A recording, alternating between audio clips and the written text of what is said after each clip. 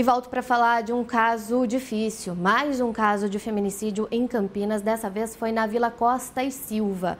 A vítima, Larissa Xavier, de 19 anos, foi morta pelo companheiro de 35 que se entregou à polícia. Repórter Fábio Oliveira é quem tem mais informações desse caso para gente.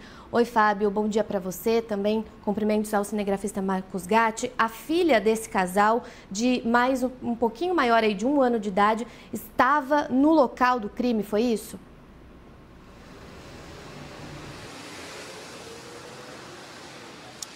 Pois é, Ingrid, a filha do casal de um ano e oito meses estava no local, estava dentro da casa quando tudo aconteceu.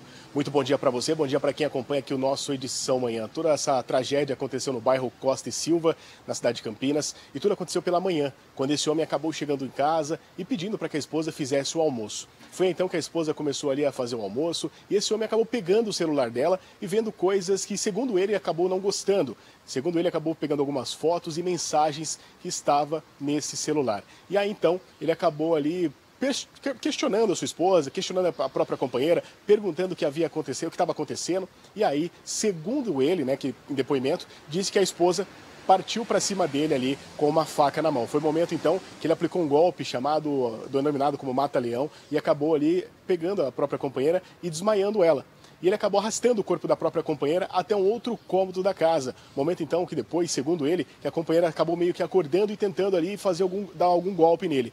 Ele acabou pegando a faca e atingindo na parte direita do pescoço dessa mulher que acabou morrendo na hora. Esse homem, inclusive, ele saiu de casa pegou a própria filha ali de um ano e oito meses, levou na casa da mãe dele, né? E aí ele até arquitetou tudo ali depois, foi até a cidade de Paulínia, foi até Betel. Betel, para quem não sabe, é um distrito né, de Paulínia ali, onde tem várias empresas, várias indústrias. Ele acabou tentando alugar um equipamento para quebrar o concreto da casa, para esconder o corpo da própria companheira. Só que ele não conseguiu alugar esse equipamento, não, não teve sucesso. Então ele voltou, acabou encontrando ali é, outra forma, tentou ali com algumas ferramentas que ele tinha em casa quebrar o concreto e aí ele acabou desistindo da ideia, achou uma viatura da Polícia Militar e acabou ali se entregando dizendo que tinha acontecido em relação a esse feminicídio. Uma policial que atendeu essa ocorrência, ela estava no momento e ela conversou com a nossa equipe de reportagem detalhando mais um pouquinho sobre esse feminicídio. Vamos acompanhar.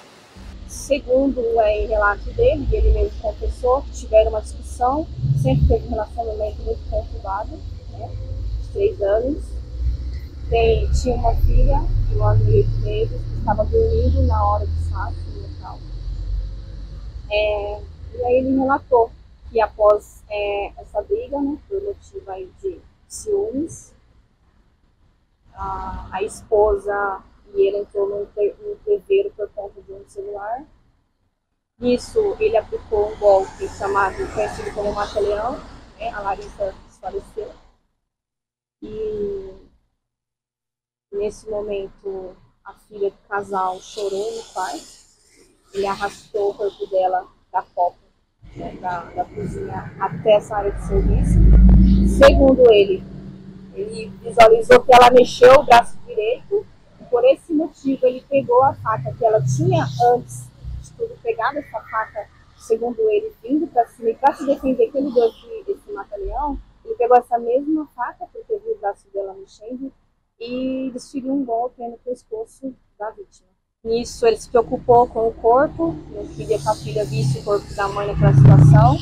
Pegou o carro, pôs a neném, deu uma madeira, foi até Betel, segundo ele, uma empresa para alugar uma máquina que ele queria furar o chão, porque é completado para ocupar esse corpo.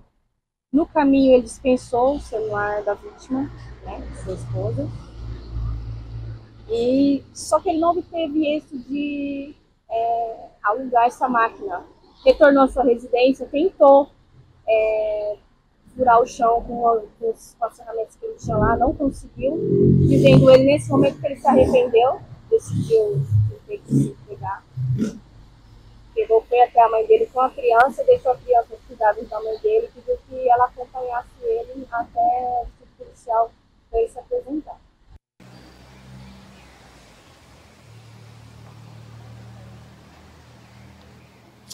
Pois é, o crime aconteceu na parte da manhã, né, por volta da hora do almoço, e o corpo da Larissa foi encontrado na parte da tarde, né? Alguns vizinhos ali relataram que esse casal tinha momentos de discussão, sim, né? E que, segundo os vizinhos, era normal essas discussões e também, claro, tinha alguns momentos de momentos bons entre esse casal também, momento de harmonia, né? Além da Larissa que morava na casa e também desse homem de, que foi identificado aí, é, a filha, né, que também morava na casa de um ano e oito meses, tinha um filho, né, do homem de um outro relacionamento. Então os quatro ali acabavam morando nessa residência. Todos esses detalhes, trazendo mais informações também, que esse é o quinto caso de feminicídio na cidade de Campinas e é o vigésimo na região metropolitana aqui. Esses casos que aumentam muito a cada dia que passa, né? Uma informação também que esse homem foi levado ontem, né, após ali confessar o crime, para a primeira delegacia de defesa da mulher, a DDM, aqui de Campinas, e logo depois foi levado para o segundo distrito policial ali na carceragem, é, numa cadeia anexa, o segundo distrito policial na carceragem. Então, qualquer novidade, qualquer detalhe, qualquer informação, a gente volta atualizando aqui dentro do, da programação da RFTV. Um último detalhe também é que ainda não temos ainda as, as maiores informações sobre o velório e o sepultamento da Larissa, mas qualquer novidade a gente volta aqui dentro da programação da RFTV, Ingrid. Obrigada, Fábio, pela sua apuração. Também ao cinegrafista Marcos Gatti. Um caso que, como o Fábio comentou, né, não é isolado nesse ano, é um registro a mais de crime de feminicídio na cidade de Campinas, o quinto em 2024, também na região. E esses casos continuam acontecendo, né? Então é importante a gente trazer esse viés aí, essa elencação de ser o quinto nesse ano na cidade de Campinas, para a gente ver, a gente ter a noção de que algo está falhando. As mulheres continuam morrendo apesar de a gente ter os dispositivos que a gente tem, tem botão do pânico, tem patrulha Maria da Penha, tem a lei Maria da Penha, tem uma série de dispositivos, de recursos para impedir, tem a medida protetiva, mas as mulheres continuam morrendo. Então a gente tem que pensar aí, né? Onde é que a gente está falhando? E não só em questão de cobrar o poder público em relação a isso, ao que pode ser feito, mas também a gente como sociedade, cultura machista, enfim, fica aí esse registro triste mais um caso fatal, uma mulher morta a facadas pelo marido aqui na nossa região, que sirva para a gente pensar sobre isso.